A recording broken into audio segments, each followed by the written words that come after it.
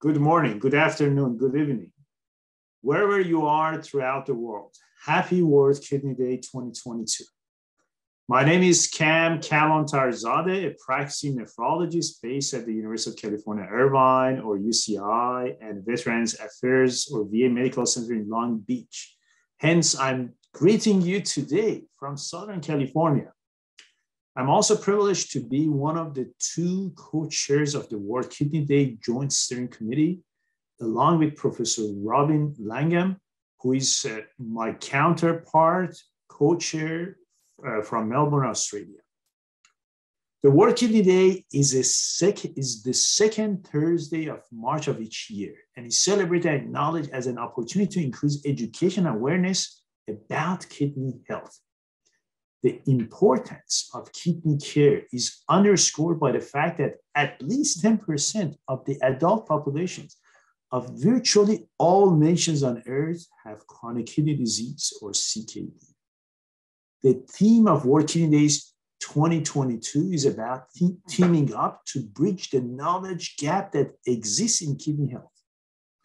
Today and throughout 2022, we will highlight the important role of health literacy in kidney care and universal precaution approach in providing health literacy, engaging individuals and organizations alike.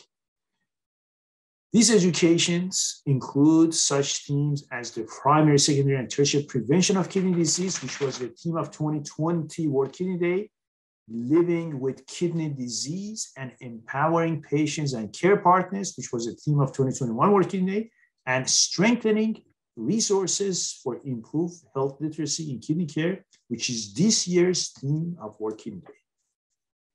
We partner with renal support groups, kidney foundations, renal networks, nephrology professional societies, and other stakeholders towards the goal of bridging the gap in kidney care knowledge and education.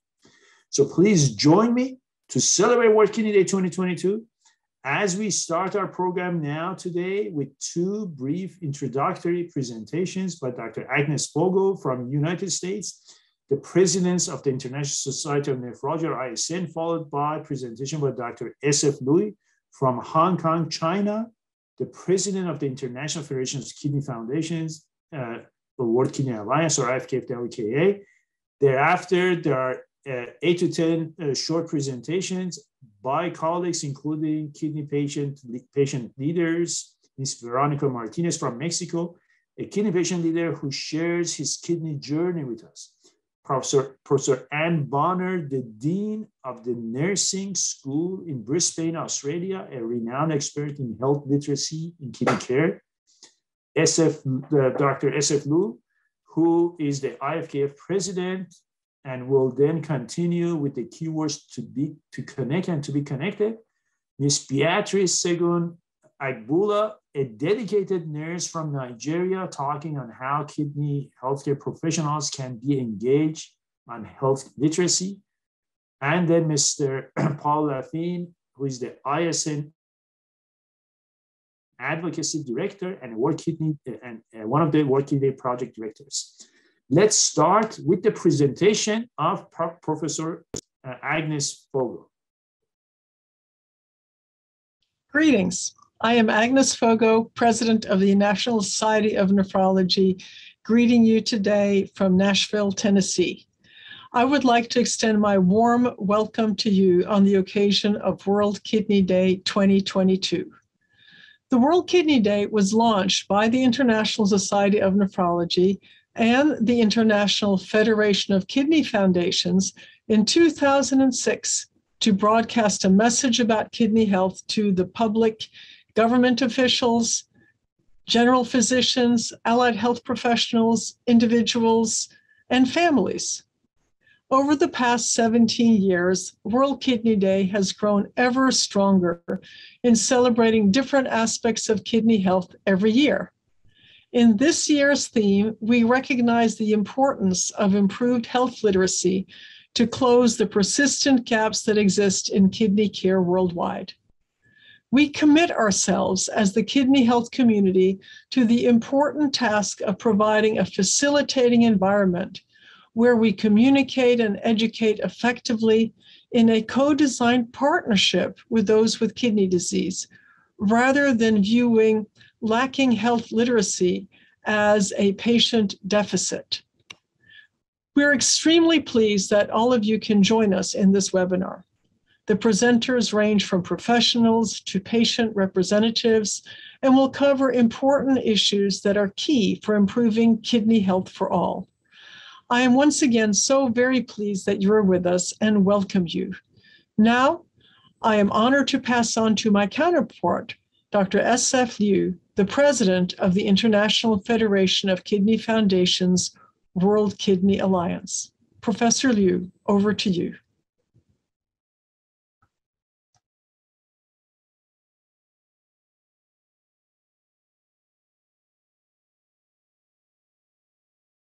Good morning, good day, good evening, whatever you may be around the world.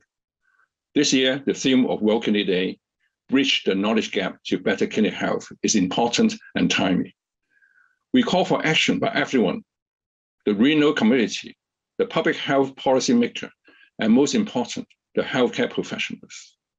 The special editorial of the March issue of Kidney International highlighted health literacy it is the degree to which persons are able to, and organizations equitably enable individuals to have the ability to find, to understand, and to use information and services to inform health-related decisions and actions. The term organization health literacy may not be familiar with you. It is a relatively new approach to address health literacy. We're most grateful Ann Bonner will enlighten us on this topic today. IFKF and Kidney Alliance takes the view that the healthcare professionals that are the doctors, nurses, and other health, and the healthcare providers, the renal units and hospitals, and healthcare organizations such as kidney foundations, all have an important role to provide healthcare information to the public, patients, and carers. We propose a five rights approach. The right information in terms of content and context being provided at the right time when they need it, by the right source that's trustworthy and factual, in the right format that is understandable, through the right channels and platform, most accessible by the receivers.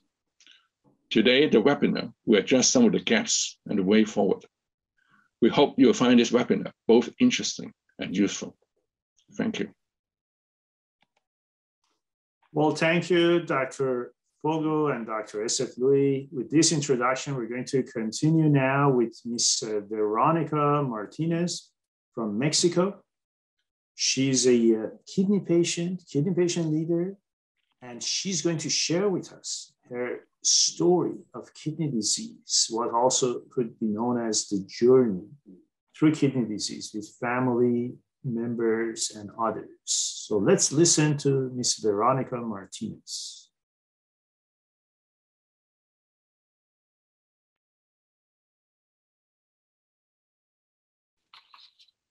Hello, everyone. My name is Veronica Martinez. I am a lawyer from Mexico.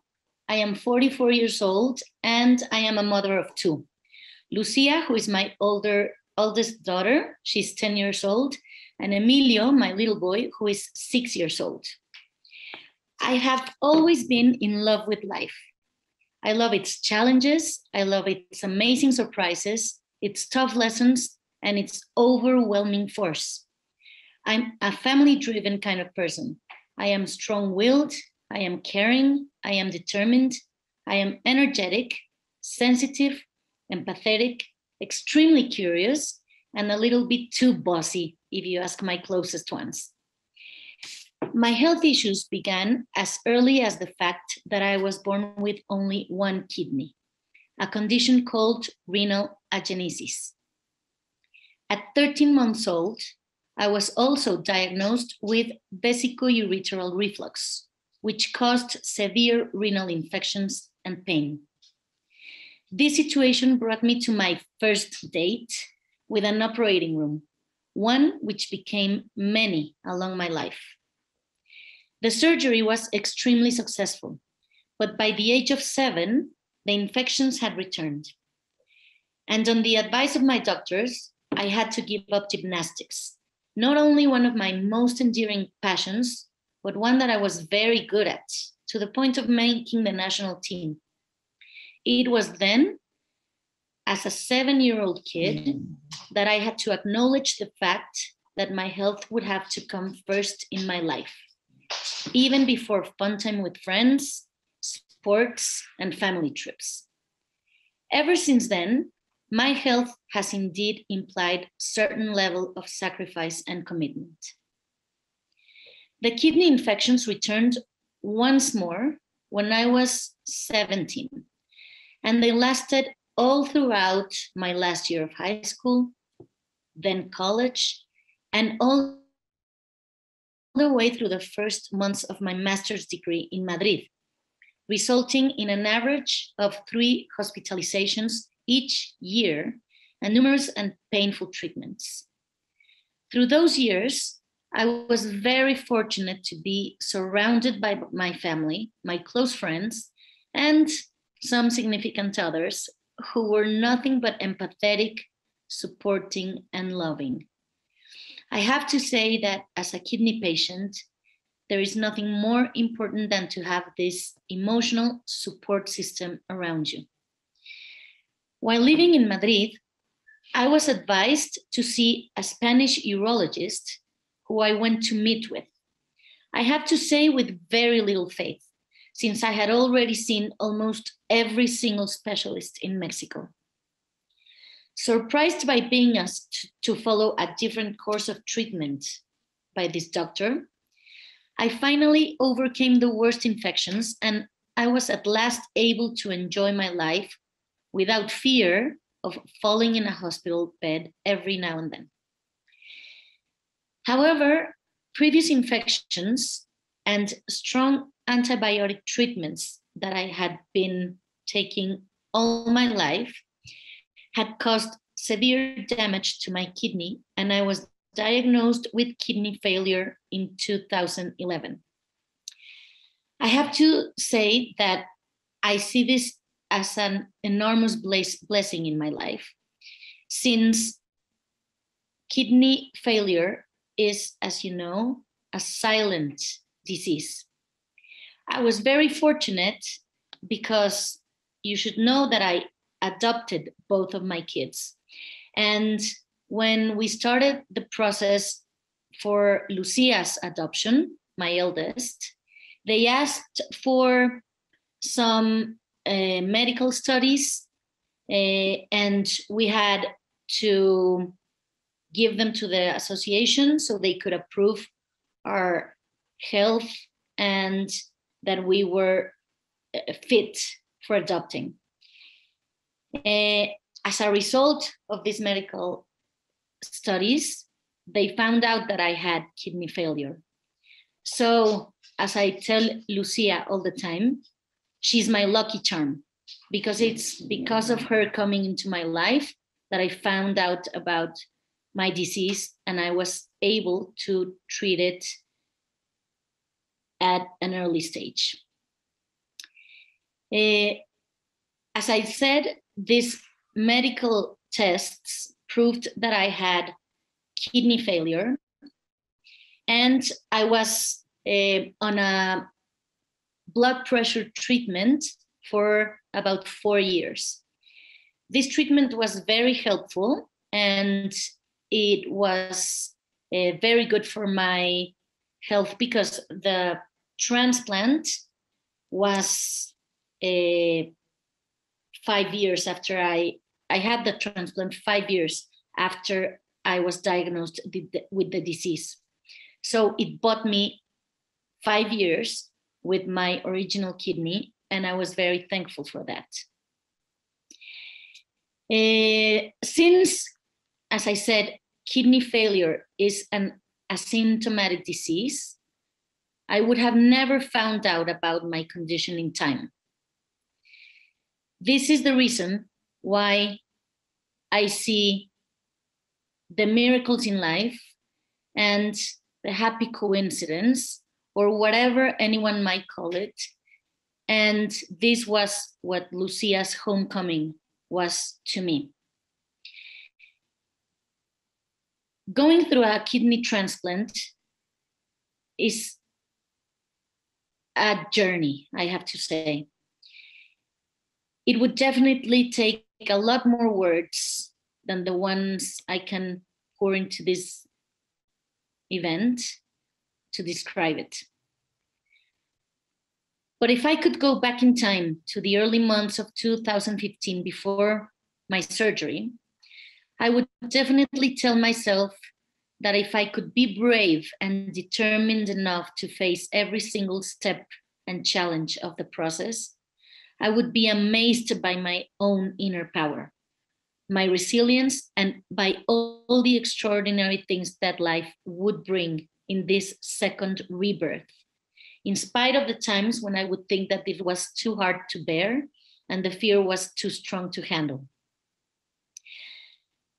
My cousin gave his kidney to me, and it was not only his decision, obviously. He's married and he's a father of three. And his whole family became part of the decision and also became part of the process. Today, I can assure you that during this experience, I got to know myself in so many ways and perspectives that made me evolve as a different person, much closer and true to my spirit and my inner self, with a keen feel and perspective of life, the value of health and positive relationships, and of the immense treasure of opening my eyes every morning with the necessary energy in my body and the will to go about in my life with my family, my job, my loved ones, and my endless passion to live fully and freely. It is my interest to share my experience, hoping that my lessons can, can help others going through the same situation and can also raise awareness among society in general on the, important, on the importance of better understanding this condition, which is so common these days, and how preventive measures can become essential to achieve long-term health. Chronic kidney disease has become one of the main challenges in the public health system in Mexico due to the increasing number of cases and the high investment costs of its treatment. Other elements that contribute to this challenge are limited number of specialized, specialized human resources in my country, late detection, and high mortality rates. In Mexico, the three main causes of CKD are diabetes, overweight, and high blood pressure, which are responsible for two thirds of registered cases in my country. According to the National Institute of Statistics, CKD is the number 10 cause of mortality in Mexico, with almost 14,000 deaths a year. Only 3.1 of the population that need a kidney get access to a transplant as you can see, these are overwhelming numbers. To this date, Mexico does not have a national registry for CKD patients. We only have statistics which do not reflect the reality of the country situation and therefore limits the ability to establish proper public policies and to address the problem financially. CKD is an issue that demands collaboration, and institutional cooperation from all different sectors, health, academy, government, NGOs, and also requires the involvement of the general population and conscious and participative patients. Education and preventive culture need to become a priority when designing public policies in the health sector.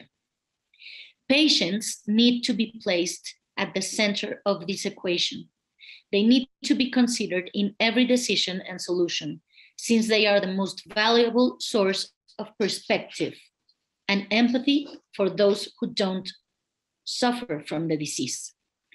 We need to raise awareness and we need to build a communication bridge between doctors and healthcare professionals and patients.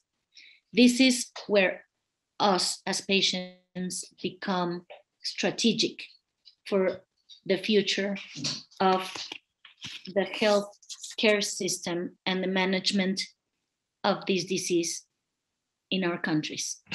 Thank you very much for this opportunity, and I am honored to participate in the event. Well, thank you. Thank you, Ms. Veronica Martinez. It was a very um, touching and, and educational uh, uh, journey that you share with us. So before we start discussion, let's move on with uh, Professor Ann Bonner, who presents the next presentation. Uh, Pro uh, Professor Bonner, Dr. Bonner is the Dean of the Nursing School in Brisbane, Australia. She's a renowned expert in health literacy in kidney care. She has contributed enormously in this area. And we are thankful to Dr. Bonner for uh, especially uh, expertise, her expertise and helping us, guiding us towards the 2022 Working Days theme. Dr. Bonner, please.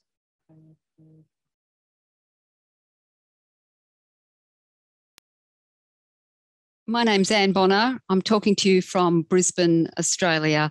Uh, for World Kidney Day, uh, bringing the knowledge gap to better kidney care. And I'm here to talk to you about the importance of health literacy.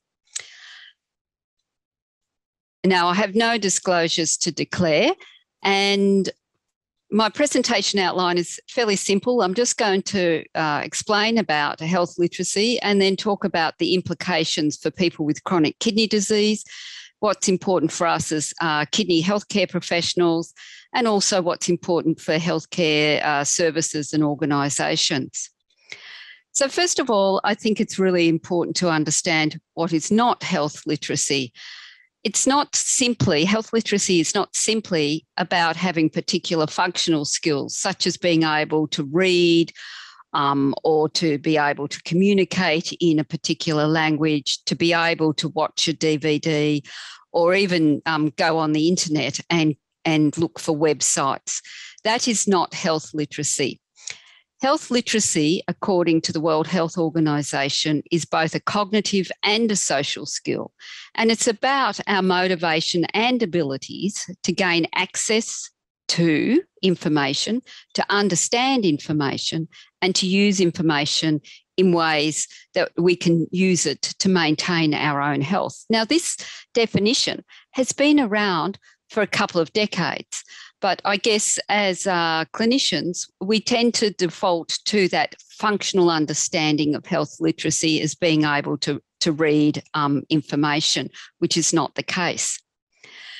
So, just a little bit of a potted history about health literacy. It's been around for um, over 50 years. Um, and it's been, you know, first mentioned in the literature um, in the 1970s. And then through the 1990s, it became more of a mainstream idea. And this is where when the WHO definition came into being. But, you know, over time, our understanding of what is health literacy has evolved. And now it's considered to have this, if you like, dynamic or changing um, ability. So it's no longer this fixed ability in terms of maybe being able to read and speak um, a language, but it's his fluid state. So, in other words, it changes based in the context that we face ourselves.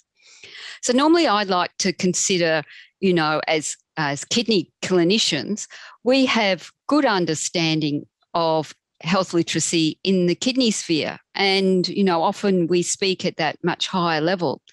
But even ourselves, as highly trained health professionals, will um, be faced with um, health situations, maybe of our own or of our family members, that we don't understand. So we're placed in a different context to what we know. And much is the same for patients and their caregivers. They might be used to a particular context, perhaps managing their diabetes over a, a number of years, a number of decades. And then all of a sudden, as you know, things change and happen because of diabetes and cardiovascular disease uh, occurs, then chronic kidney disease. And all of these change and or add to the complexity around healthcare. So that's what I mean by the healthcare uh, context does change. So therefore, our health literacy is context specific. So now the definition about health literacy is that it's multidimensional. It has that functional capacity about being able to read and write and, and to count and to speak in um, a, a language. But it's then being able to use those abilities to communicate in an active way in our healthcare.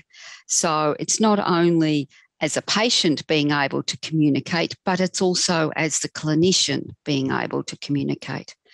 And then what is that communication is about is an exchange of information. And then the person receiving information is taking it on board, digesting it, and then being able to critically use it so that they can participate in their own health.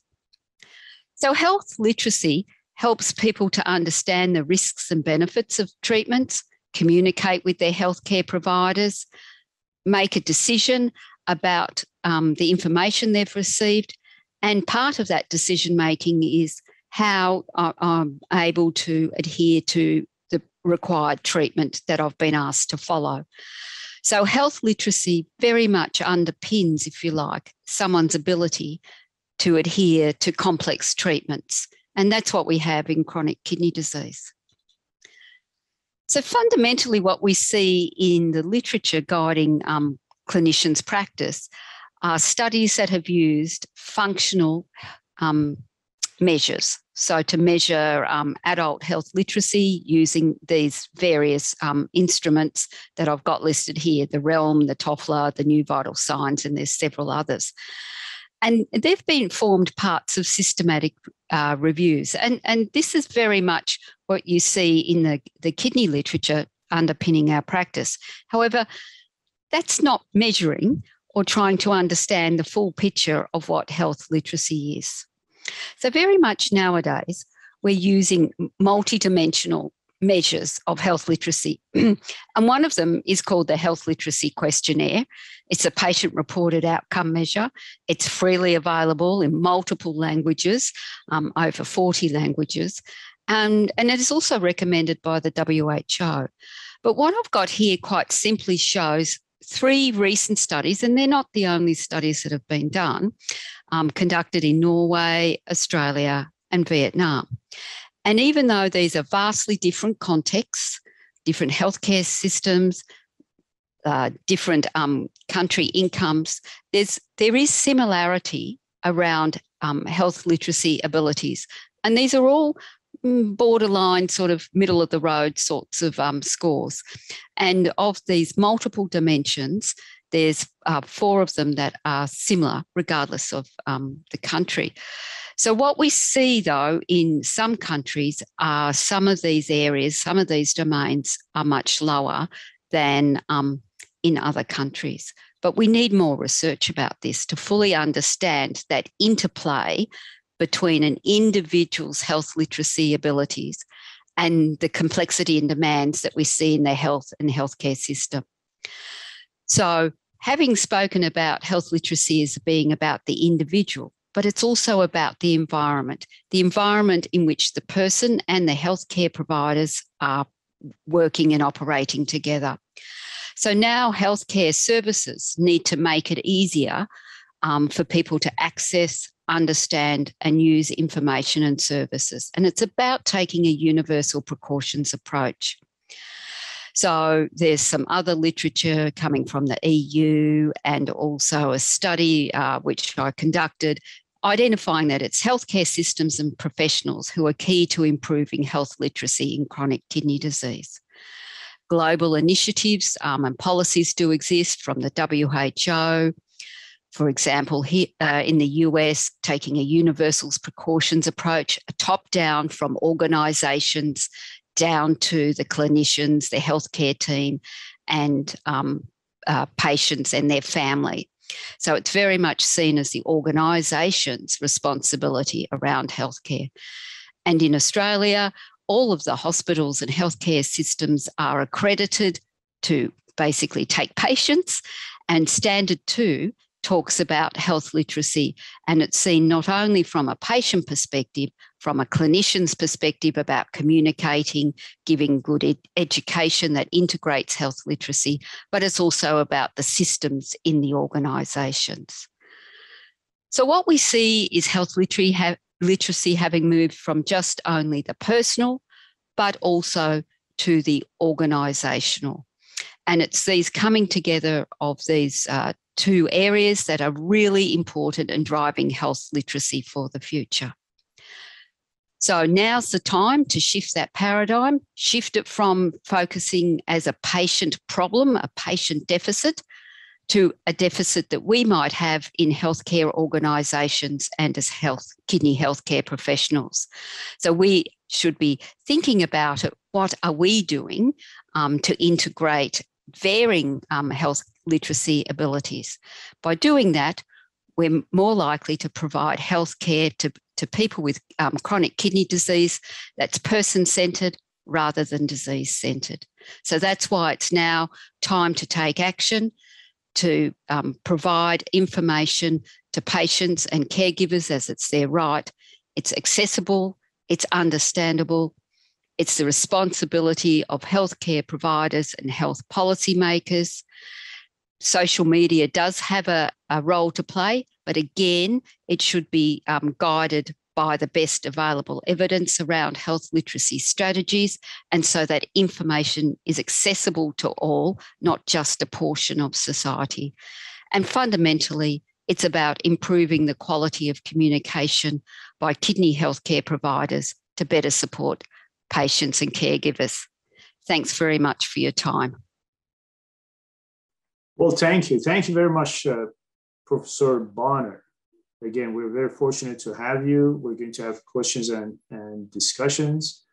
In between, we are fortunate to have Professor Fogo joining us. We listened to her important introductory remarks and we have two presidents from ISN and IFKF here, the founders of the World Kidney Day.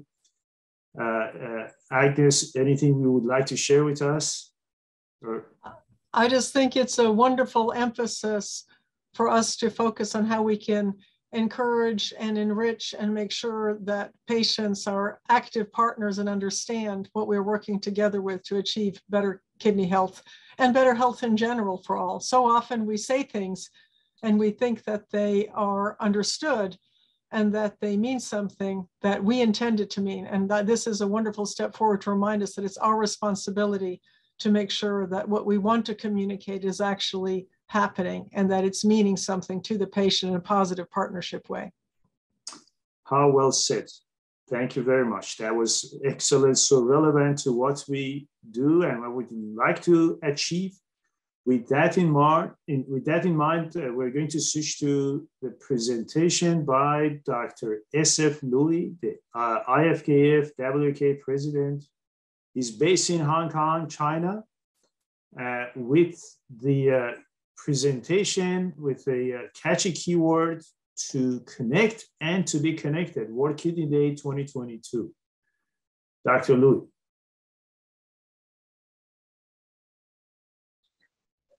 I will speak on to connect and be connected with the kidney patients. The editorial of Kidney International March issue highlights an important message. Health literacy is a degree to reach persons and organizations have or academically enable individuals to have the ability to find, understand, and to use information and service to inform health-related decisions and actions for themselves and others. I will focus on the issue of how to find information. The Healthy People 2030 um, expanded the definition of health literacy from the personal health literacy to the importance of organizational health literacy, adopting the definition that the person health literacy is contextual and that organization play a critical role by making health information and service easy to understand and assess. That is a very important role of the healthcare professionals, uh, the doctors, nurses, and healthcare uh, allied health, and also healthcare providers as well. I take the view that there are five rights in the provision of healthcare information. That is the right information in terms of content and context at the right time for the for those who need the information by the right source that is trustable, trustworthy and factual information in the right format that is understandable through the right channel and platform, which is most accessible by the receiver. Indeed, our journey uh, of the kidney with ourselves is a lifelong journey. From beginning, we need to know about the kidney function, protect your kidney, aware who's at risk, aware of the symptoms, how to make diagnosis. Once you actually, unfortunately, got a diagnosis of kidney disease, you need to know how to manage it, how to treat it, uh, how to slow down the deterioration. And if unfortunately you move on to end-stage kidney failure, you need to know more about the different options of renal replacement therapy. But further on, how to plan for the future. So indeed, there's a different health and healthcare information required for different people and, and patients at different time, from general public to patient with kidney disease to end-stage kidney disease. We have conducted a survey to try and understand what do patients with kidney disease actually want to know, need to know, and where to get the information from. So we asked them three questions in the survey. It's a part of the survey. Do you have enough healthcare and medical information about your kidneys and kidney disease to care for yourself? what kind of healthcare and medical information on kidneys and kidney disease, treatment of kidney disease, and living well with kidney disease you want to know. This is a topic from last year World Kidney Day. Where you have obtained and where would you prefer to obtain the best healthcare and medical information on kidney disease and treatment. So the surveys was conducted either on a hard copy, as shown here, or actually electronic on, on the online web, on an online platform in English, uh, in Chinese and Spanish, but you can actually select a country that you can form as well. A total of 11 organizations of IFKF working alliance from 10 countries actually take part in this pilot survey with 3,000 uh, returns. Um, they are mainly patients with kidney failures on dialysis, uh, although some of them are just with kidney disease. Because of time, I can only present the data as a whole group. Of course, we need the subgroup analysis to understand about more of what the information the patient needs when they're at different stage.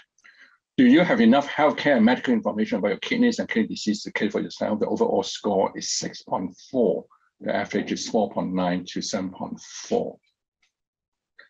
On what kind of healthcare medical information of kidneys and kidney disease you want to know, 50% of them actually want to know the common cause of kidney disease and failure, 41% on how do I protect my kidneys, and 34% on kidneys and, and kidney functions.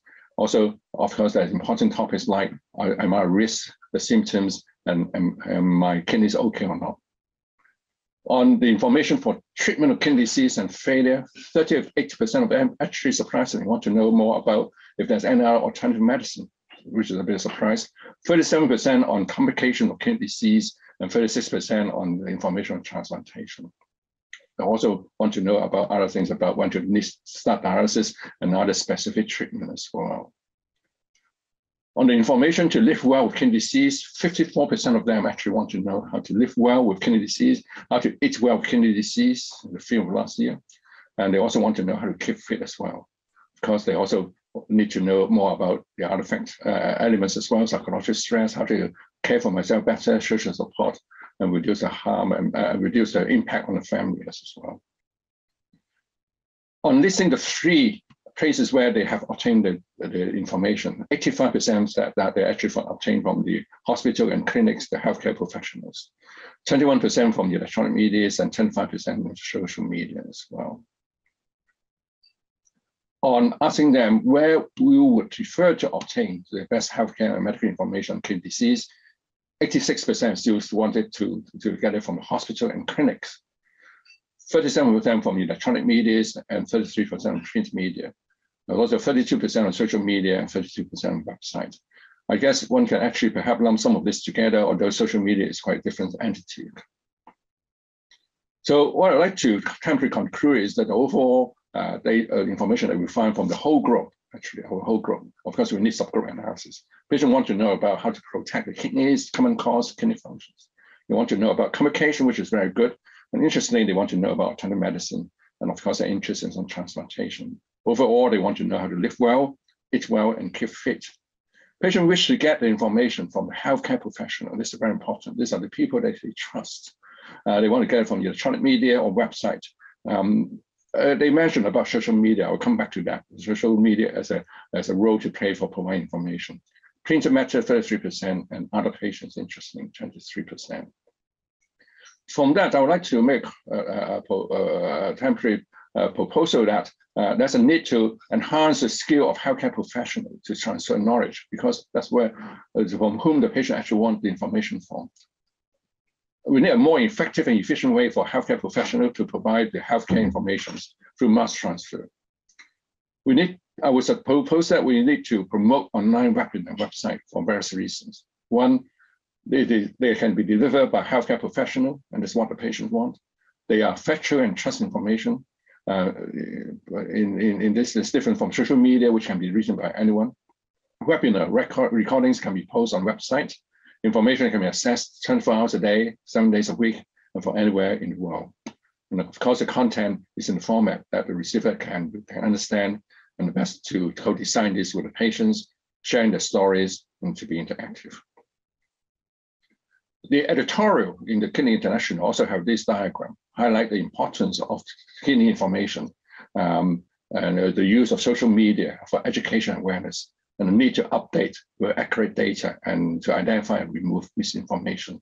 I, I take the view that social media is important because it can actually draw the, everyone's attention to important information. But perhaps a structured website and webinar and those of things will be a better means to trans, transmit uh, factual information to the patient that can be relied on. I'd just like to share with you, uh, in view of this uh, working day program, we have already started on the work by providing information for patients. Hong Kong Kidney Foundation, Hong Kong Society of Nephrology, Hong Kong Association of Renal Nurses have collaborated, uh, provide, uh, produced uh, nine episodes of online webinar every other Tuesday night through Zoom, Facebook, and YouTube and the recording are posted on Hong Kong Kidney Foundation. We'll also post the PowerPoint as well. The English version will be posted very soon. We're also posting the, the, the, link to all the webinars through the newspaper website, and we're so surprised that with over 4 million hits by people uh, from near the, in the region.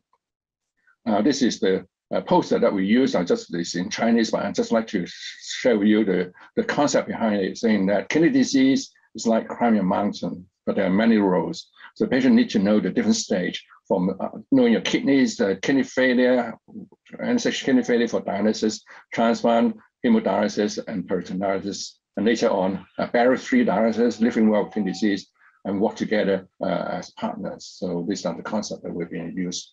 Um, this is a topic which I already just briefly mentioned already. It's so good that we've got so many nephrologists supporting this program, and also the renal nurses as well. Hong Kong Kidney Foundation will launch a World Kidney Online uh, platform uh, to set up a series of online webinar for healthcare professionals and also for healthcare providers, organizations, and foundations, so that we can provide factual information for the patients in the way that they, they, they would like to, to obtain from. Um, I would like to end by saying that what the other from the uh, editorial, kidney organizations should work towards shifting the patient deficit health literacy narrative to that of being the responsibility of healthcare provider and health, health policy makers. And to do that, we need to understand uh, what the patient needs, how they want to know it. hence my title, to connect and be connected. I acknowledge all the contribution from Hong Kong Kidney Foundation, Hong Kong Society of Nephrology, in particular, Dr. Jen Yuk who done all the most of the analysis, and Hong Kong Association of Renal Nurse. I also thank the members of the International Society to Working Alliance for joining this pilot study. This call for further elaboration uh, and further study on, on, the, on the initial finding that we actually have identified. Thank you for your attention.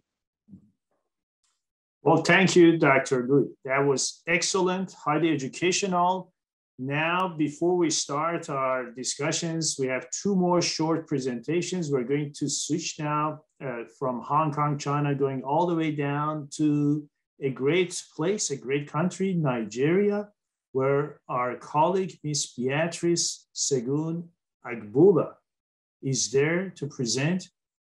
Uh, she's a dedicated nurse from central Nigeria talking on how kidney healthcare professionals can be engaged in health literacy. Beatrice.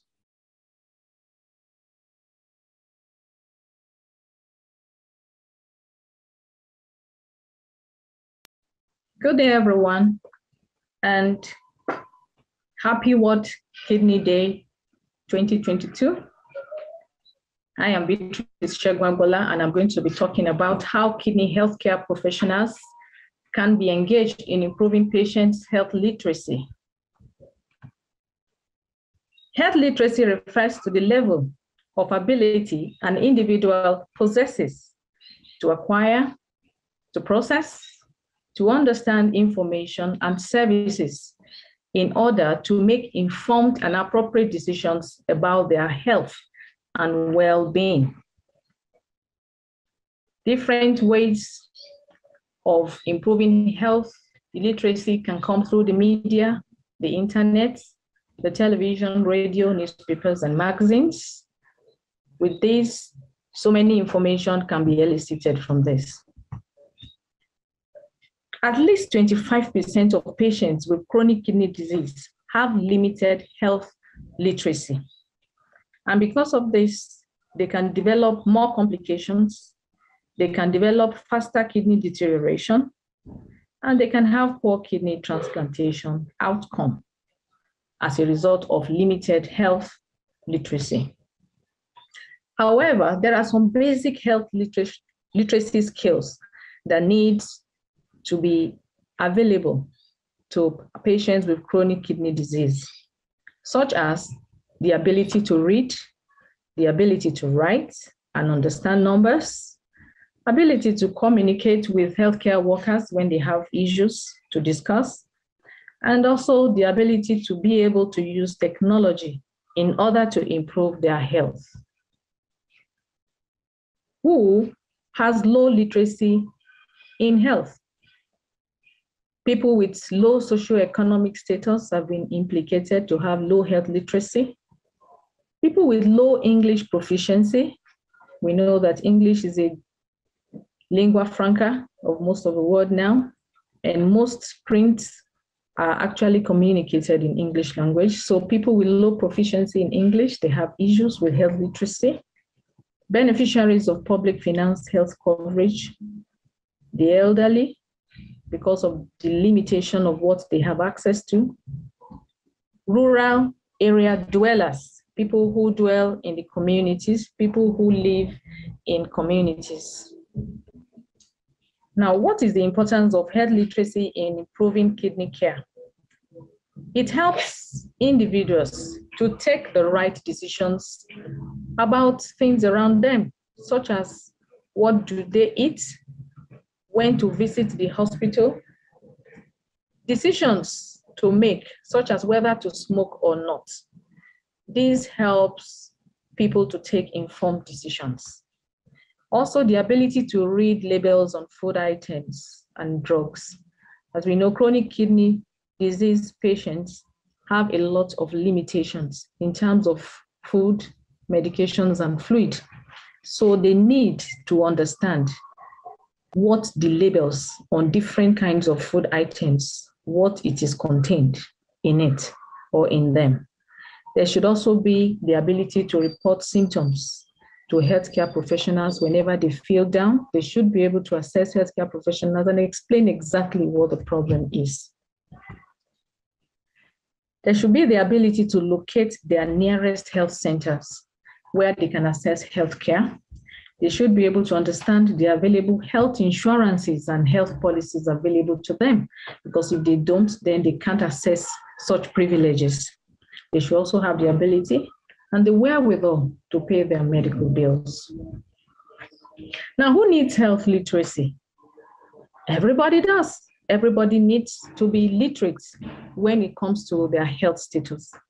Individuals, families, communities, healthcare givers, insurers, employers of labor, and the government needs to be educated about their health now, what are the effects of limited health literacy? When people do not have enough information about their health, there will be reduced use of preventive services, such as we have today, the World Kidney Day activities. People may not be able to access such activities if they have limited health literacy. There could also be ineffective management of chronic risk factors most of patients with chronic kidney disease are usually harvested from patients with hypertension and diabetes. You know, chronic kidney disease, most of the time is a complication of another disease. So when there is limited health literacy, there will be ineffective management of the risk for chronic kidney disease. There could also be low rates of treatment compliance. When there is limited health literacy, people may not be able to comply with lifestyle modifications and their diet. And of course, another effect is medication errors. There could also be longer hospital stays for patients because they become sick more often than usual. There will be increased hospital admissions and poor responsiveness to public health emergencies, such as in time of epidemics, they just don't know what to do because of the limited health literacy then of course, morbidity and mortality would be very high. Now, how can healthcare professionals be engaged in improving patients' health literacy? First and foremost, there'll be simplicity in information on kidney disease by the use of various methods such as prints, jingles, oral and electronic health information should be easy for them to understand, for everyone to understand actually. There should also be access to educational facilities and health reform should be more patient-centered. Education should be provided to improve literacy in the community through advocacy to the government. The healthcare can actually advocate with the government so that education can be provided to the grassroots. There should also be motivation through some incentives. For example, scholarships should be provided. People will be encouraged to go to school then there should be provision of a more frequent avenue for learning about kidney disease prevention, not only on what Kidney Days like today. Then there should be an expansion of the scope of information related to some particular diseases, such as hypertension and diabetes, people should be informed. In summary, it should be noted that health literacy is key to improving better outcome in kidney care and the health status of the community at large and conclusively to improve the health literacy of patients with chronic kidney disease. There should be a collaboration which should be effective, and there should be a synergy between the patients, healthcare professionals, the government, who are mostly the policymakers in different countries, financial providers, and of course, researchers should all be involved in health literacy of patients with chronic kidney disease. Thank you very much. Thank you. Thank you, Ms. Agbula. We're fortunate to, to have you here today. We have one more quick uh, presentation.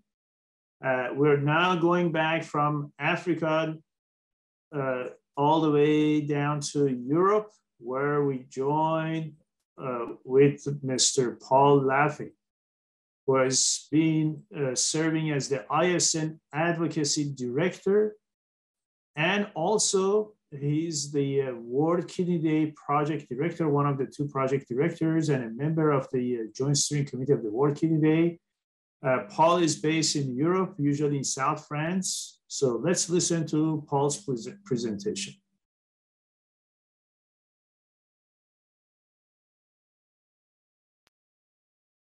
Hello, everyone. I'm Paul Laffin, the ISN's Advocacy Director, and I'm going to speak about advocating for better kidney health key principles, and top tips. Before I begin, I can advise that I have no conflicts of interest to declare. The first thing that I should mention is that I am not a nephrologist nor a medical doctor of any kind. I am, however, a social policy graduate from Trinity College Dublin, have an MSc in environmental policy from Oxford University, and have spent the entirety of my career working in the public policy sector. This includes eight years running the British Medical Association's Brussels office as its EU Public Affairs Manager, during which time I led several successful international advocacy campaigns. For example, successfully mitigating the damage done by Brexit, the United Kingdom's departure from the EU, to the European medical profession and the patients it serves. As you can imagine, there are a lot of similarities between such campaigns and the ISN's efforts to tackle the global burden of kidney disease through advocacy and collaboration with global partners like those involved in the WKD campaign. Accordingly, I'm going to talk about the transferable key principles and top tips for successful advocacy to tackle the global burden of kidney disease. Before I do so, please take a few seconds to remind yourselves what advocacy is. It's synonymous with public affairs, or the more pejorative term, lobbying, but at its heart, they're all an activity by an individual group that aims to influence decisions within political, economic, or social institutions. When doing so, as in all walks of life, you only get one chance to make a first impression, with, in what's known as the 90 90 rule, the first 90 seconds accounting for 90% of that immediate reaction. So, other than the obvious points like dressing appropriately and speaking clearly, how does this apply to advocacy? Quite simply, it's about convincing the decision maker that you're worth listening to and can help them deliver mutually beneficial outcomes. If you can't do this, and I speak as somebody who couldn't on many occasions during my early career, then you'll struggle to recover and leave the meeting with a positive outcome. The best way to do so is to develop an elevator pitch. That's to say, in a jargon free manner, be able to articulate the problem or opportunity, explain what the policy solution is, how you can help deliver it, and detail what the mutual benefits, especially to patients, will be in the time that it takes to make a short journey in an elevator. For example, explain that dialysis patients have much higher rates of infection and mortality from COVID 19 than the general population, and describe why this is. Outline how their prioritisation, as a result of political pressure, within vaccination programs will decrease these rates, thereby saving lives and alleviating pressure on other parts of the health service. You can then expand upon these points once you've got the decision maker's full attention. Experience has taught me that perhaps the most important point to focus on is, unsurprisingly, how your proposal will benefit patients, who, after all, can vote and ultimately help a politician to keep their job. I've been in situations where I've metaphorically lost the room because I wasn't able to clearly demonstrate patient support for the policy solutions that I was proposing. This most definitely is not the case with WKD. With the ISN's recently launched Patient Liaison Advisory Group and its members from each of the Society's 10 regions, and the International Federation of Kidney Foundation representing patient groups from 41 countries, the patient perspective is fully embedded within the WKD campaign. Having made a positive first impression and convinced the decision maker that you're worth listening to, it's imperative to demonstrate that you understand the system you're trying to shape. Firstly, you need to do your research and make sure that you're speaking to the person who can actually influence the policy you're trying to shape. Bureaucracies and parliaments are complex institutions. So, and again, I speak from experience, it's hugely embarrassing to your and detrimental to your cause to be told, thanks for coming, but you really should be speaking to my colleagues. You should also do some research on the policymaker's track record. For example, do they have personal connections, a family member with CKD, for instance, to kidney health, or have they voted favourably on recent relevant pieces of legislation? The ability to drop such facts into your discussion not only helps build a personal connection, but emphasises your professionalism, thereby increasing the likelihood of securing support for your proposal. It's also imperative to understand the legislative or policy process that you're seeking to influence and the current political climate in which you'll be operating. Demonstrating an understanding of how such processes operate and what needs to be done to secure your proposal serves to further strengthen your credibility and increases the chances of securing support for your cause. At the most basic level, for example, and for once this isn't, isn't something that I've done myself, one should not ask a health minister to begin developing an expensive dialysis program from scratch two months before a general election and during a period of financial austerity.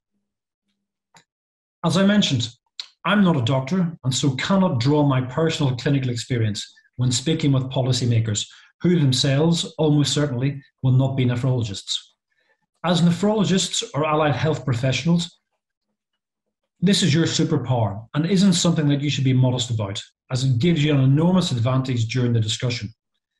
I've been challenged many times by astute politicians who've asked about my personal experience of healthcare delivery but have been able to turn the tables by diverting the question to a clinician who is my clinical foil and who provided a suitably robust response. Your ability to talk about the impact of healthcare policy on yourself or on your patients, particularly if you've just come from the hospital or clinic, and use this experience to convince policymakers should not be underestimated either. Of course, it's equally important to do so in simple, jargon free language that allows the policymakers to understand the issues from the outset, whilst also presenting yourself as an approachable source of expertise. Your arguments, based on your clinical expertise and experience as patients or clinicians, can be further strengthened by the targeted use of both qualitative and quantitative data. Like any other group of people, policymakers have a range of personality types and think in different ways. So, and again, this will require research, it's important to be prepared to present the evidence to both the more analytical left brain people and the more emotional right brain group. That's to say, be prepared to use case study material which demonstrates the human impact of health policy upon named, named individuals from within the policymaker's jurisdiction and back this up with the use of relevant, citable, empirical facts. Being able to cite a recently published article from a high profile publication can be particularly effective. So, I'm building on the elevator pitch of dialysis patients having much higher rates of infection and mortality from COVID 19 than the general population. a North American could cite the December 2021 ProPublica piece, which details how the pandemic killed so many dialysis patients in the USA that their total number shrank for the first time in nearly half a century. I cannot, though, emphasize how important it is to have both types of data and for it to be both up to date and locally specific. If it's not, and if the policymaker is worth their salt, then, and again, as I've experienced firsthand, they can easily debunk your arguments if they so wish and seriously reduce your chances of success. Having been on the other side of the debate, so to speak, as a policy advisor, as a policy advisor to a member of the European Parliament, I cannot overstate the importance of ensuring that you're speaking with one voice as a unified profession and set of patient advocates. Nothing is more off-putting to a politician or his staff, who often act as the gatekeepers, than being approached by different representatives from the same sector, all wanting to speak about the same or a similar issue. Those who synchronise and ensure that the different sections of the profession and patients groups are coordinated and aligned will secure those meetings and can expect a favourable hearing. Those who don't often don't even get in the door. So do reach out to the WKD team when considering such efforts, as we can help with the coordination and ensure that there are no unhelpful duplication of efforts. Everything I've just talked about must be done as part of a structured advocacy campaign which will need to include a significant focus on external communications. In the modern world, and with the health advocacy space being hotly contested, it's no longer enough to speak with the policymakers themselves. It's vital that the media, both print and social, help to am- amplify your message. Without them helping to change the political climate, it's all but impossible to secure significant policy change. Indeed, demonstrating success in advocacy is challenging, which is why we at the ISN aim for textual success. That's to say, unless the legislative or policy text has been amended or been prevented from being changed to reflect your interests, then your campaign hasn't been successful.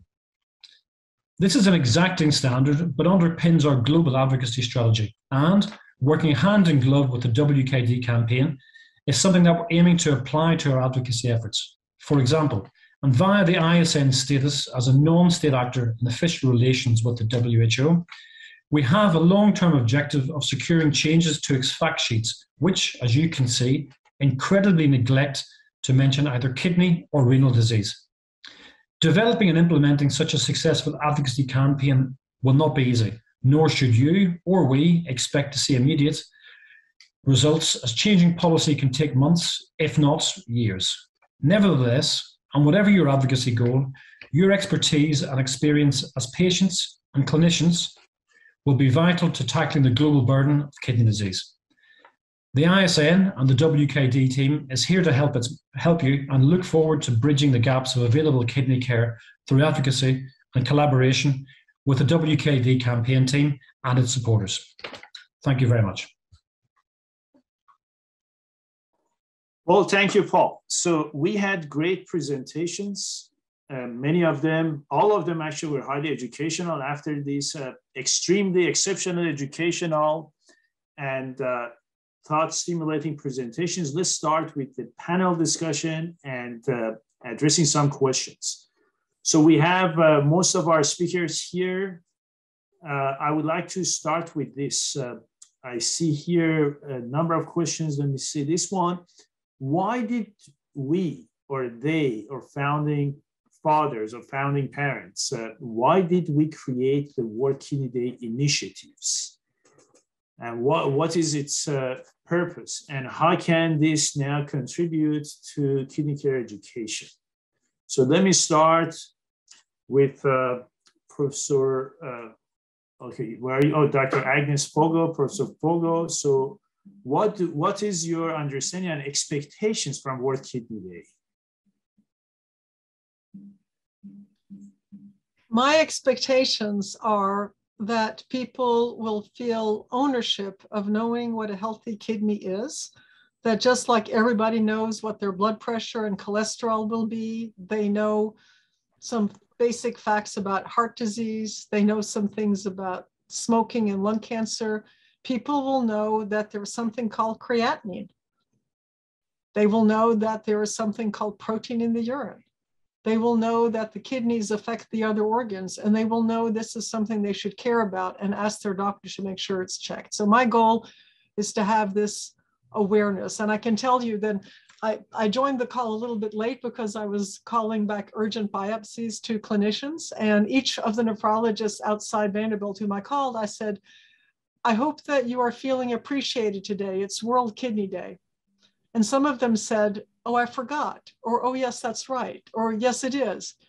I would hope that we would all have this first and foremost on our agenda, that we would all know that it's World Kidney Day, that this would be not just within our profession, but other people would know it's World Kidney Day, and it would be as natural a part of our common knowledge, regardless of our level of health literacy, that there are some things we can ask our doctors about and be proactive about. Those are my goals. What about you? All right. So in, uh, now that you're asking what about me, I'm going to actually uh, forward this question to Dr. S.F. Lui. What about you, Dr. Yeah, um, I think Agnes already outlined some of the reasons, but let me take you back a bit. I was actually involved with the beginning. That was 18 years ago, a long, long time ago. I'm quite old man now. Uh, Hong Kong actually had the Hong Kong Kidney Day in 2001 and 2004. And at the time, some of us was talking together there must be a World Kidney Day, just like everything else. There's a World Hepatitis Day, but no World Kidney Day. Well, that's another question. We need to get WHO, WHO to well, WHO World Kidney Day. But coming back to some 18 years ago, Joel Kopple was the one who actually connect all those things between IFKF and ISNN. Um, now, now at this moment, we now say that one in 10 people around the world, doesn't matter where you are, have some degree of kidney disease it wasn't that much then, but it was a very major problem because treatment is so difficult, it's so expensive. That was one of the reasons why we started. Let me end by saying that currently we are trying to focus everyone on World Kidney Day. The theme is a challenge. There's so many topics that we need to talk about. But may I just say that from my personal perspective, there's two major themes. One is provide better kidney health for all, as Anna says, of prevention, detection, and early treatment. The second one is we must provide better care for patients with kidney disease. Those are two major things. It's amazing that you're uh, touching base on the two themes of the 2020 and 2021 World Kidney Days, and is prevention from 2020 and, and living well with kidney disease in 2021. Now, bringing this back to Dr. Bonner, who is our special guest of this year and who is the main expert behind uh, this year's theme. So, and what what would you what would be your expectations from the uh, resources and from the first of all the concept of World Kidney Day and resources that this World Kidney Day and opportunities that it's it probably uh, uh, bring to us and place at our disposal, and, and what would you suggest? Where should this platform continue to evolve? Thanks very much, Kam. It's a real privilege and an honour to be um, invited this year. I'm a kidney nurse of over 30 years, and you know what has struck me, as well as a as a teacher, academic, is that we, we often give information, communicate information to our patients. We try to teach our patients, but we we don't really um, try to assess their ability to understand and use that information. And to me, that's what health literacy is about. It's about acknowledging that everybody brings to the situation, to the clinical appointment, to see their doctor, to see their nurse, their allied health professional um, with varying health literacy abilities. It's not based on how far through school somebody went because people may never have been to school but still acquire a way of understanding the world and processing information. And if we use those principles um, when we're dealing with patients and their family all of the time i think that's where we will bridge the gap and um, bring kidney care um, to the person rather than just focusing on the numbers, you know, the fluid numbers, the creatinine numbers, the potassium numbers, and it brings it to what's meaningful for the person. And then they're more likely to um, adapt to their kidney problems, to be able to adjust their lifestyle, um, and adhere to the sorts of really complex treatment that we ask them to adhere to. Even lifestyle modifications are very challenging for people to put into their ordinary uh, daily lives. So that's what I hope um, comes from this theme this year. Well, thank you, uh, thank you, Dr. Bonner. I, I mean, you you describe yourself as a just a kidney nurse while you are the dean of the medical school is one of the top medical uh, i'm sorry it's nursing school one of the top nursing schools uh, uh, internationally recognized. So I'm going to uh, also start the second question with yourself. Since you mentioned, since you're an expert in, in, in health literacy, what are the key measures? Uh, and, and if I could expand on this question that came from one of the colleagues, expanding health literacy, the conventional traditional uh, definition, I mean, how you, you read and understand your prescription, that's the functional health literacy versus what we in 2022 should really expect different levels of health literacy. So could you could you expand on this uh, and, and yeah.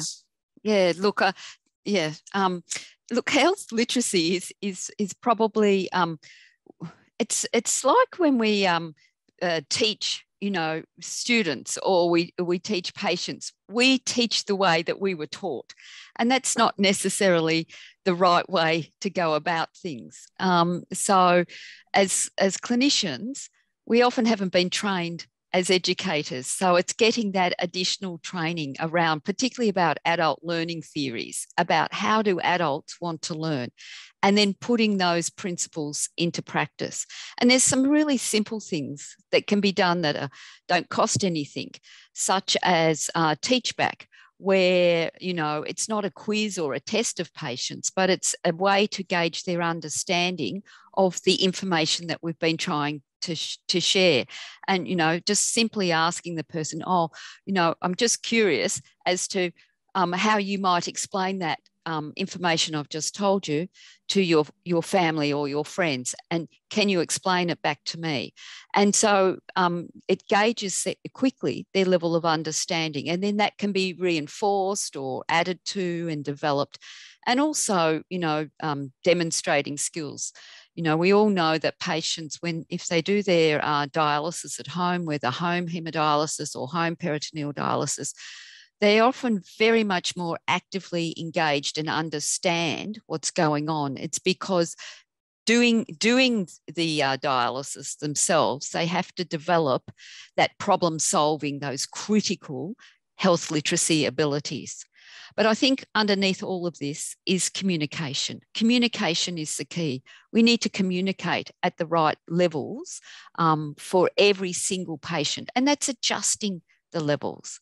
Um, if I took all of us out of our comfort zone in kidney care and placed us all in the hematology department um, and trying to make a decision as to which would be the best treatment option, we would be confused as to whether we were should be taking treatment options A, B, C, or D. So even our health literacy gets challenged when we're out of our comfort zone. So if we think of that, we think of it as a universal precautions um, approach. Well, it's just very uh, simple strategies like that. And I think fundamentally, and I'm sorry, I'll, I'll finish in a moment, it's the organisations that we work in. It's the organisations that need to empower the clinicians to take this approach. There needs to be the policymakers, including that as part of what we do. And I was just highlighting a couple of examples from the US and here in Australia where it is a requirement for organisations to really embed health literacy practices. Well, very nicely said. I'm going to now share the, second question with uh, Professor Fogo. So uh, this is a question here. What is the best format for patients and their care partners to improve the level of understanding and education? And, and if it comes from you as a pathologist who, try, who tries, you try very hard to share with us uh, very sophisticated observations in, in histopathology with us, nephrologists who don't quite understand the level of your insight and you change it to the language that we understand. So now going back to this question, what's the best format for patients and their care partners to better understand the uh, uh, matters related to kidney disease and in which format? Well, as you know, Kam, I don't often talk directly with patients, but I'm very happy to do so. And sometimes they do call me to get a better understanding of the biopsy. And I use a lot of metaphors. I think Ann touched on this, that you have to use language that makes sense. So whether I'm talking to the nephrology fellows or the medical students or sometimes patients or lay people, I might say, we have deposits. These are bad things that land in your kidney in the filtering units. And there are things that we call humps. They look like Monet's haystacks. And some of all of these things that I say, I will use things that are common analogies and use a normal English language and not technical terms in explaining what is going on. I, when I teach, which I enjoy very much doing, I often use little theater plays where we pretend to be different cells or deposits and have people go through what would happen if this did. I um, think that having people be interactive, having them think through with you. And as Ann said, teach back, maybe not in a quiz like way, but I want to make sure that I've explained this well enough. Can you tell me how you would explain this to your other person, your whatever other person that is? How would you explain that? And I want to make sure that I did a good enough job explaining it to you. Not, I want to make sure you understand it well enough, but did I do a good enough job explaining this to you so that it's useful to you and makes sense. So it, it, I don't really have one answer because it depends very, very much on the person and their age. Some of the millennials that I teach, they want TikTok length videos, they want short bullet points.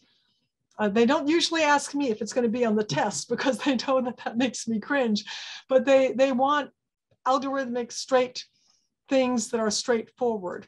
Uh, more senior, older people want to kind of mull over in a different way and use different things. But I think just the, the key point is not to use specialist language and is to be able to communicate in a language or with metaphors that make sense to people. If I'm talking to somebody who's a mechanic or works with their hands or with carpentry, I might use metaphors that make sense to them. If I'm talking with somebody who farms and gardens, I might use metaphors that make sense to them so well said. I, I just learned, I, I, noticed that I use that same strategy, not infrequently use, using metaphors.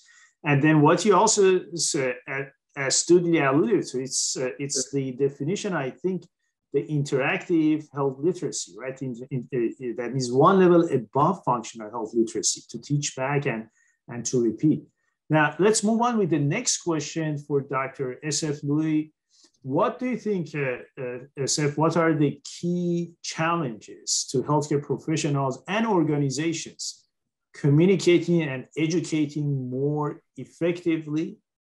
So at the level of especially uh, uh, uh organizations such as kidney foundations or health organizations, health systems in the United States, we have Kaiser Permanente or, or certain things. What, what have we failed and what we should learn and, and improve?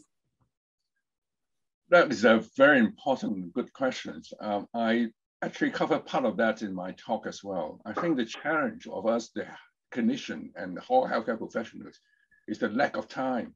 We got so many patients to see, and in the clinic, you already got five minutes, and the nurses may got a bit more. So to me, it's very important that uh, for the healthcare profession to, to do two things is one to brush up your, I won't say brush up, but enhance your skill to how to communicate very effectively on a one-to-one basis. But to me, it's more important, why do we re repeat and repeat the same message to the same, different patients at different time from different hospitals? They're all saying the same thing.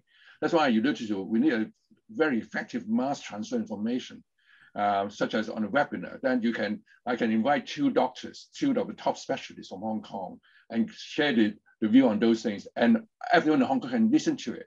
Why we have to do, do this so many times? I think we need to call for effective efficiency of the whole way we actually communicate and share information with patients. Thank you. Uh, I see that Beatrice is back. So if you can hear us, Beatrice, uh, so uh, what would you uh, uh, in, in with regard to the last two questions about communication, that means how to communicate and educate more effectively, interactively, and also what would you expect from organizations, including those you work with in Nigeria, in Africa?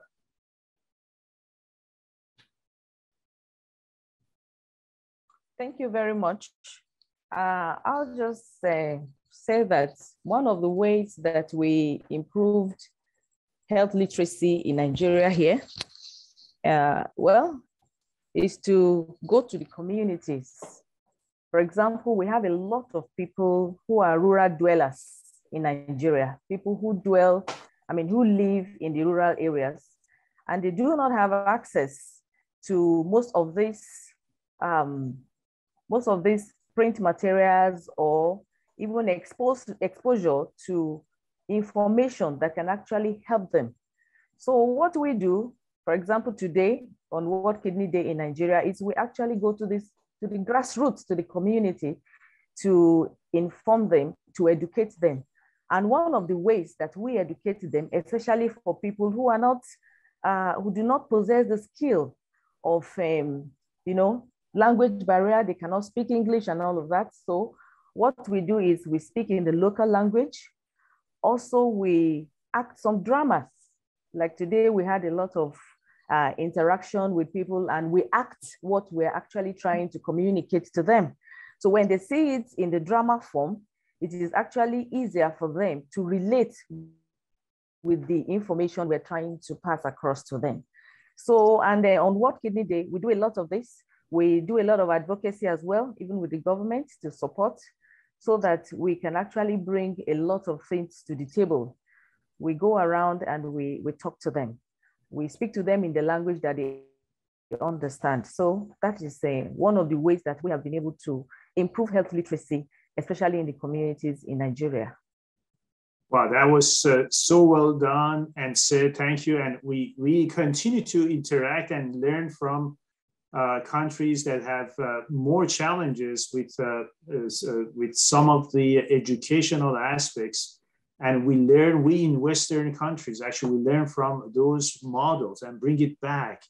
So with that in mind, I would like to ask colleagues to, with this last question, uh, this is about your final message and this will be recorded and, and shared and watched by many in coming days to weeks. So, what is your personal message for World Kidney Day and its 2022 theme from now on? So, let me start with uh, Agnes, Dr. Fogo. What's your personal message? Thank you for all that you do to help us care for all of us in all regards, and particularly to focus on your kidney health. Very nicely said. Thank you. And Dr. Lui. Uh, to everyone around the world, one, know your kidneys. And secondly, do you look after your kidneys? Thank you, Dr. Lui. Dr. Ann Bonner, Professor Bonner. I also say thank you to everybody of what you're doing. I think keep the voice active, raise the awareness, don't give up. Thank you. And Beatrice? Okay, thank you very much. I will say we are doing a wonderful job, especially on World Kidney Day. I want to say let's continue for emphasis. Thank you. With these great messages, I would like to conclude our today's presentation. This was the World Kidney Day 2022, Bridging the Gap with focus on health literacy. Please don't forget that World Kidney Day will be continued to be celebrated, not just today, but from now on through the remainder of the year 2022. Thank you very much. Have a nice day. Thank you. Bye. Thank you. Thank you. Bye.